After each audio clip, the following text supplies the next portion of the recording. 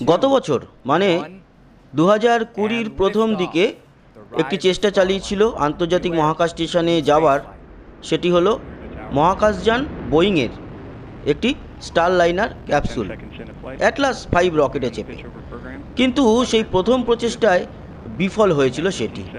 আর এই প্রথম চেষ্টায় বিফল হওয়ার প্রায় আঠেরো মাসেরও বেশি সময় পাওয়ার পর আবারও আন্তর্জাতিক মহাকাশ স্টেশনে মানে আইএসএসে যাওয়ার জন্য প্রস্তুত বোয়িংয়ের স্টারলাইনার। ফ্লাইট প্রস্তুতি পর্যালোচনা করে আগামী তিরিশে জুলাই কক্ষপথের উদ্দেশ্যে পরীক্ষামূলক উড্ডয়নের দিকে এগোচ্ছে নাসা। প্রযুক্তি বিষয়ক মার্কিন সংবাদ মাধ্যমগুলিতে প্রকাশিত এক প্রতিবেদনে এমনটাই বলা হয়েছে। প্রতিবেদনে বলা হয়, অপ্রত্যাশিত কোনো ঘটনায় দেরি না হলে মার্কিন যুক্তরাষ্ট্রের ফ্লোরিডার ব্র্যাভার্ড কাউন্টিতে অবস্থিত Cape Canaveral space force station থেকে।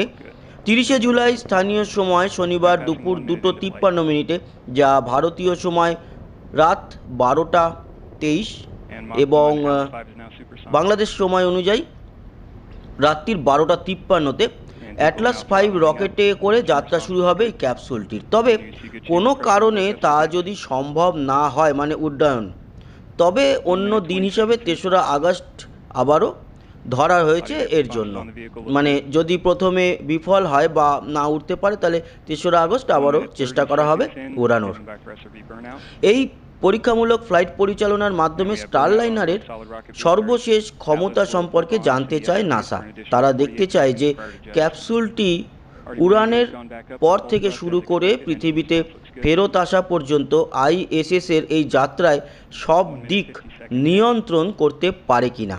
কক্ষপথের উদ্দেশ্যে এই পরীক্ষামূলক যাত্রা এমন গুরুত্বপূর্ণ কিছু তথ্য দেবে যা পরবর্তীতে নভোচারীদের মহাকাশ স্টেশনে যাতায়াতে সাহায্য করবে বলে জানিয়েছে ক্যাপসুলটির নির্মাতা প্রতিষ্ঠান বোয়িং।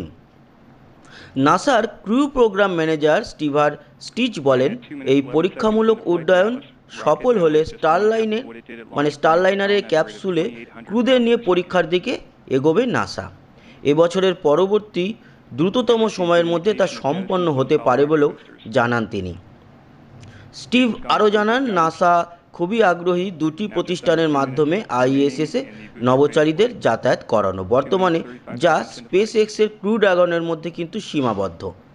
তবে আরও একটি প্রতিষ্ঠান বাণিজ্যিকভাবে মহাকাশ স্টেশনে পরিবহন সুবিধা চালু করাটা আমাদের জন্য গুরুত্বপূর্ণ হয়ে উঠেছে বলে জানান তিনি। স্টারলাইনারের বাস্তব ক্ষমতা দেখতে বোয়িং এবং নাসা দুটি প্রতিষ্ঠানই প্রচুর বিনিয়োগ করে ফেলেছে। এর আগে দু হাজার উনিশ সালের ডিসেম্বরে মানে ওইটা শেষ হয়েছিল যখন ফিরে আসাটা, তখন দু হাজার কুড়ি সালের জানুয়ারি পড়ে গিয়েছিল।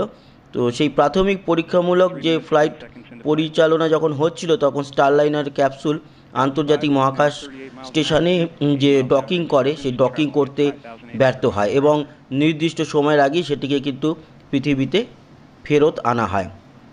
এবং সেই সময় আমরা করেছিলাম সেই ভিডিওটি আপনাদেরকে দেখিয়েছিলাম। বোয়িংয়ের স্টারলাইনার নামটি শুনলেই আপনাদের মনে পড়বে সেই কথাগুলো। তো যাই হোক, আশা করব এই দ্বিতীয় উড়ানটি যেন সফল হয় এবং আগামী দিনে স্পেস এক্সের যেরকম ক্রু ড্রাগানে করে মহাকাশচারীরা যাচ্ছেন, চারজন মহাকাশচারী, ঠিক সেইভাবেই বোয়িংয়ের এই স্টারলাইনার ক্যাপসুলে করেও যেন আন্তর্জাতিক মহাকাশ স্টেশনে পা রাখতে পারে মহাকাশচারীরা।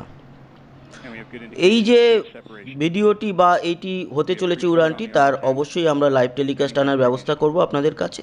কেমন লাগল এই ভিডিওটা জানাতে ভুলবেন না। সঙ্গে থাকবেন সাবস্ক্রাইব করে লাইক শেয়ার অবশ্যই করবেন আর কমেন্ট বক্সে আপনার গুরুত্বপূর্ণ মতামত জানাবেন। আসি, আবার দেখা হবে। সবাই ভালো থাকবেন, সুস্থ থাকবেন। টাটা।